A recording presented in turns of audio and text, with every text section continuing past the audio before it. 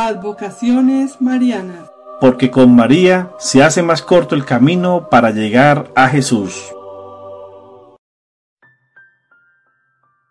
Una vez más nos reunimos para viajar por nuestra América, tierra de María. El día de hoy nos trasladaremos hasta el santuario de Nuestra Señora del Carmen en Maipú, que se levanta en el cruce de los caminos del norte y del sur, del océano y de la nieve, y que crece de la misma tierra que hizo erguirse incontenible el árbol del Chile independiente, santuario que es casa de Dios vivo para la patria, lugar en donde se han encontrado la gracia de Dios y la fe del pueblo chileno. La Santísima Virgen del Carmen es invocada en Chile como Reina y Madre, patrona generala, jurada de las Fuerzas Armadas y de Orden, títulos que son fruto del reconocimiento especial de la protección de la Madre de Dios a lo largo de nuestra historia. Varios años antes de que Pedro de Valdivia iniciara la conquista de Chile, según el actual emplazamiento del territorio nacional, ya se encontraba activo el primer templo mariano del país. Se trataba de una pequeña ermita erigida en el poblado de La Tirana en honor a Nuestra Señora del Carmen. La fecha de su establecimiento es incierta, pero se sabe que fue fundada por el sacerdote mercedario Fray Antonio de Rondón. Más tarde, en el año 1595, los padres agustinos llegaron a Chile, a la ciudad de Concepción, e introdujeron la devoción de la Virgen del Carmen, fundándose ahí la primera cofradía del Carmen. En el año 1648, este fervor religioso se extendió rápidamente en el pueblo, siendo la Carmelita acogida con especial amor. Esto se manifestaba cada 16 de julio, día en que la iglesia celebraba la fiesta de Nuestra Señora del Carmen, y cuya imagen los padres agustinos sacaban en procesión por las principales calles de la ciudad de Concepción. Dada esta confianza y amor especial del pueblo chileno por la Virgen del Carmen, es que comenzó a ser invocada en los escenarios más importantes de nuestra historia y de manera muy especial en la lucha por la independencia nacional, donde se pidió su maternal intercesión.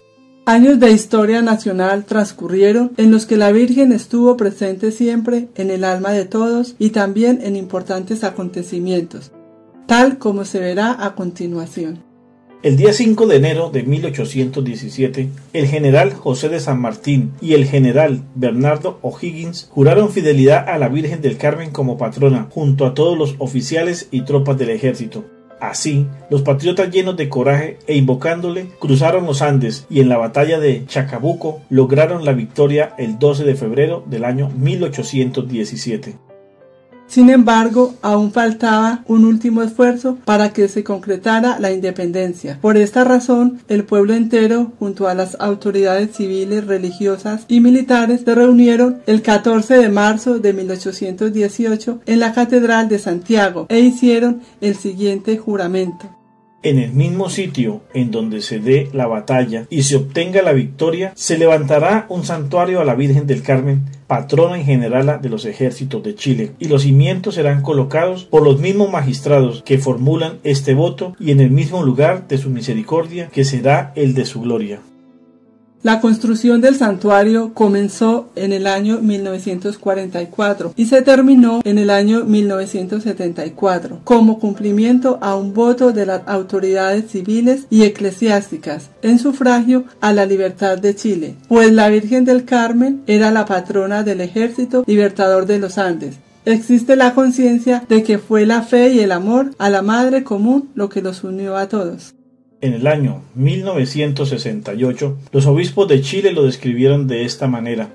El santuario de Maipú será santuario donde conozcamos y honremos mejor a María y la descubramos como una verdadera estrella para Chile, estrella donde resplandecen las virtudes que hacen posible y fecunda la convivencia, respeto, confianza, amor responsable, estrella que guía, que exige caminar, desarrollarse, porque ella misma no se detuvo nunca en el crecimiento de su gran servicio histórico. Ser enteramente Madre del Señor, que divide los tiempos, será lugar de oración y ofrecimiento donde los católicos agradezcan, pidan filialmente, hagan penitencia, alaben a nombre de ellos y de Chile entero. La devoción a la Virgen del Carmen en Maipú se conserva viva y operante. Cada año en las proximidades de la fiesta de Nuestra Señora del Carmen, el 16 de julio se escoge un lema que capta el momento que está viviendo el país y las inquietudes actuales de los peregrinos.